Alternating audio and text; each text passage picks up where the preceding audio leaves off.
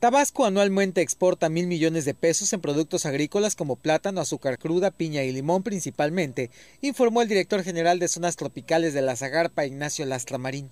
Manifestó que la entidad tiene un gran potencial para incrementar el volumen de exportaciones y diversificarlas. Mil millones de pesos.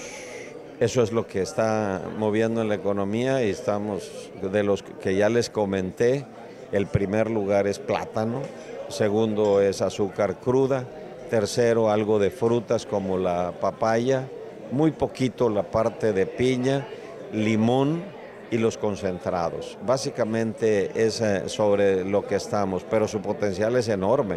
Podemos exportar becerrada hacia los Estados Unidos en barco y salir de dos bocas.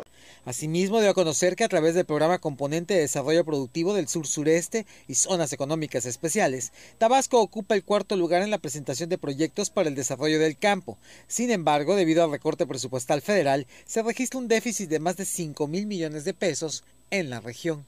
Sin duda sigue existiendo este, el, el enojo de los productores porque no se puede beneficiar a todos. Nosotros tenemos una demanda cercana a 6 mil millones de pesos por año y lo único que hemos podido atender, sobre todo este año, es 550 millones después de todas las reducciones.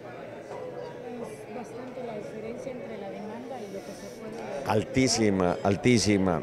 Este, y lo que hemos, eh, bueno, eh, lo que hemos venido haciendo es eh, atender a la gran mayoría con menos recursos. Con información de Carmen Hernández, TVT Noticias.